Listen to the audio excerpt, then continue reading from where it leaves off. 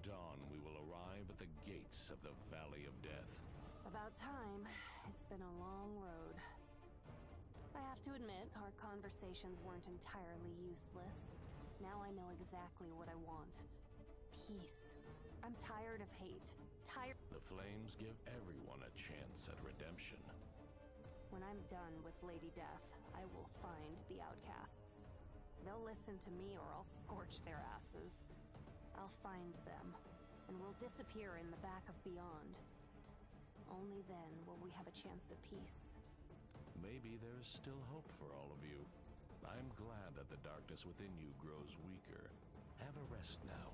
There is a decisive battle waiting for you tomorrow, and you will atone for all the evil you brought to this world.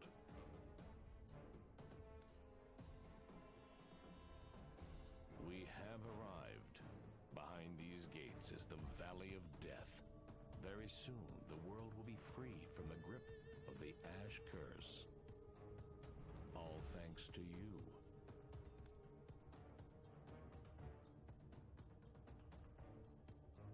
Don't waste your breath, priest. I'm doing it for myself. I know.